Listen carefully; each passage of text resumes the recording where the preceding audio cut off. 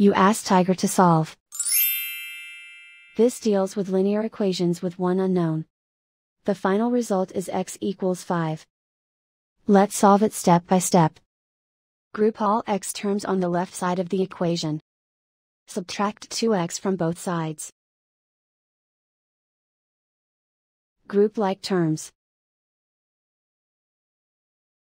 Simplify the arithmetic. Group like terms.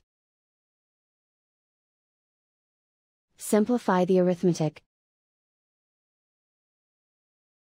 Group all constants on the right side of the equation.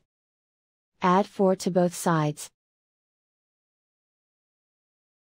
Simplify the arithmetic.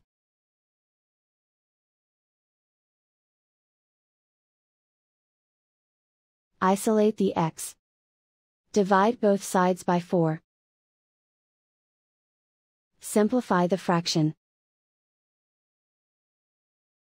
Find the greatest common factor of the numerator and denominator.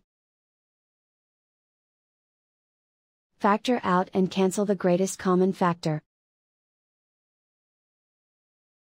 And so the final result is x equals 5.